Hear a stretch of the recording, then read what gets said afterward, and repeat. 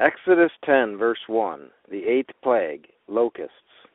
Now the Lord said to Moses, Go into Pharaoh, for I have hardened his heart, and the hearts of his servants, that I may show these signs of mine before him, and that you may tell in the hearing of your son and your son's son the mighty things I have done in Egypt, and my signs which I have done among them, that you may know that I am the Lord.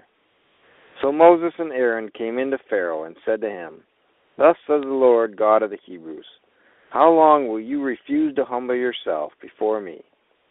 Let my people go, that they may serve me. Or else, if you refuse to let my people go, behold, tomorrow I will bring locusts into your territory, and they shall cover the face of the earth, so that no one will be able to see the earth, and they shall eat the residue of what is left, which remains to you from the hail, and they shall eat every tree which grows up for you out of the field. It shall fill your houses, the houses of all your servants, and the houses of all the Egyptians, which neither your fathers nor your fathers' fathers have seen since the day that they were on the earth to this day. And he turned and went out from Pharaoh. Then Pharaoh's servants said to him, How long shall this man be a snare to us? Let the men go, that they may serve the Lord their God. Do you not yet know that Egypt is destroyed? So Moses and Aaron were brought again to Pharaoh, and he said to them, Go, serve the Lord your God. Who are the ones that are going? And Moses said, We will go with our young and our old, with our sons and our daughters, with our flocks and our herds we will go, for we must hold a feast to the Lord. So the Pharaoh said to them, The Lord had better be with you when I let you and your little ones go. Beware, for evil is ahead of you. Not so. Go now, you who are men, and serve the Lord, for that is what you desired. And they were driven out from Pharaoh's presence. Then the Lord said to Moses, Stretch out your hand over the land of Egypt for the locusts, that they may come upon the land of Egypt, and eat every herb of the land, all that the hail has left.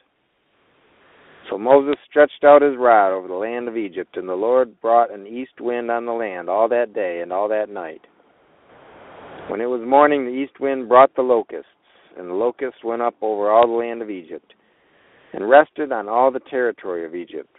They were very severe.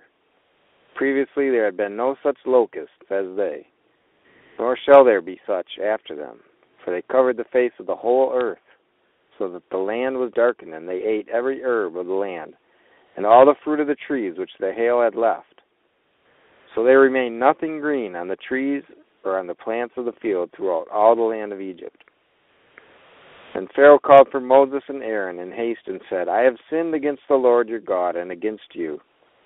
Now therefore please forgive my sin only this once, and entreat the Lord your God that he may take away from me this death only. So Moses went out from Pharaoh and entreated the Lord, and the Lord turned a very strong west wind, which took the locusts away and blew them into the Red Sea. There remained not one locust in all the territory of Egypt.